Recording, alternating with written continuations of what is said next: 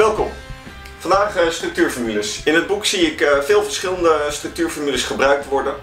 Dus uh, ik wil je er een paar laten zien, of de meest veel voorkomende. En ik wil even behandelen waar, um, ja, wat betekenen ze nou.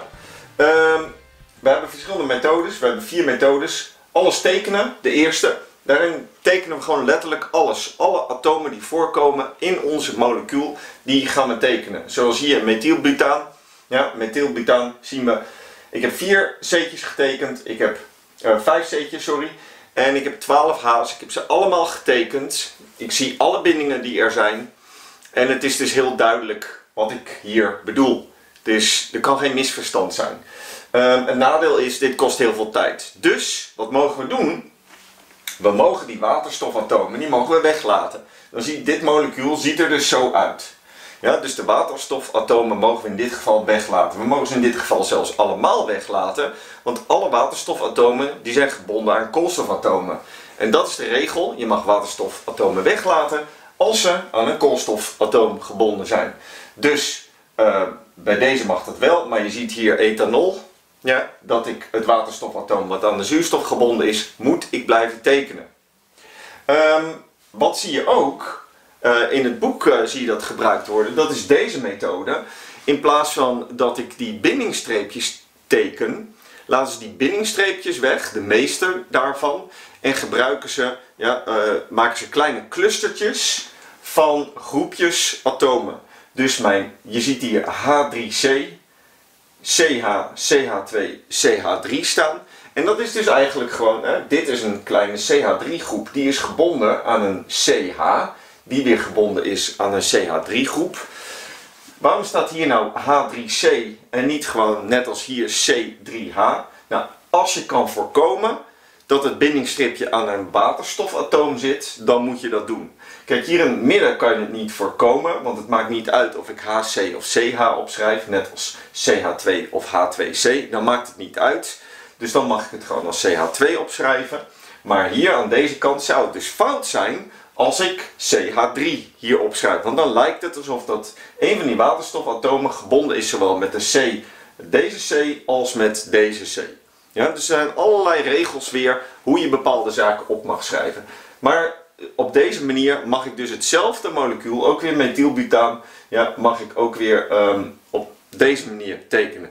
Dus dat zijn eigenlijk de, chemische, de chemische parallel van uh, synoniemen. Dit is hetzelfde als dat, is hetzelfde als dit.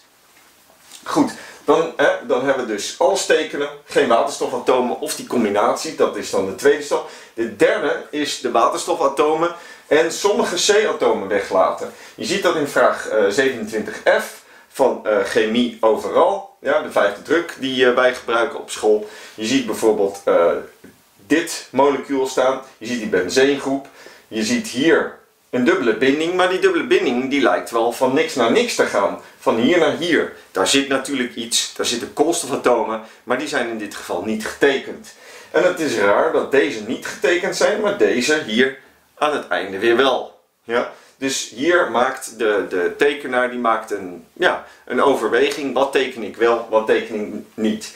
Dit is dus minder werk dan dat, ja, waarin ik dus het benzeenmolecuul nog wat groter heb gemaakt, wat uit heb getekend. Ik heb die drie dubbele binding daarin getekend. Ik heb ook die twee C-atomen getekend ja, die die dubbele binding hier maken. Die hier zorgen voor die etheen. En hier heb ik nog heel veel werk. Heb ik al die C-atomen heb ik getekend. Dus ook benzene heb ik getekend. En ik zou dus nog een stap verder kunnen doen. En niet alleen alle C-atomen tekenen. Maar dus ook alle waterstofatomen er weer bij zetten. Ja, zodat ik weer op alles tekenen uit ben gekomen. Maar ook dit ja, zijn weer synoniemen.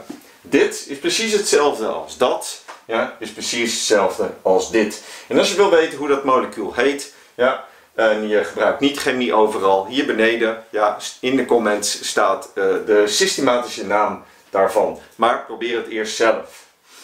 Dan uh, is optie 4, is waarom zou je überhaupt nog iets gaan tekenen? Ja, dat zie je ook af en toe in het boek gebruikt worden. Dit zijn overigens niet de officiële titels voor hoe je dat tekent, maar dat is mijn titel. Je ziet hier een vijfring met een broom, een chloor en een dubbelgebonden zuurstof eraan.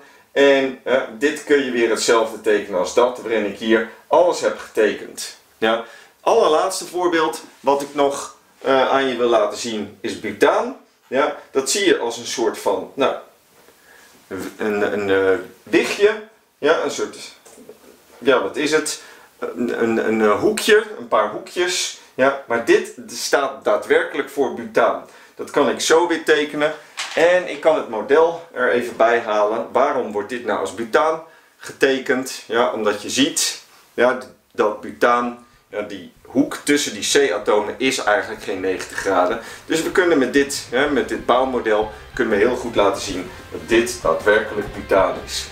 Goed, ik hoop dat dit wat duidelijker is geworden. Ga lekker verder met oefenen. Als je nog even wil eh, weten hoe zat het ook weer met die naamgeving, dan kan je dat hier zien. En je kan natuurlijk altijd subscriben. Veel succes!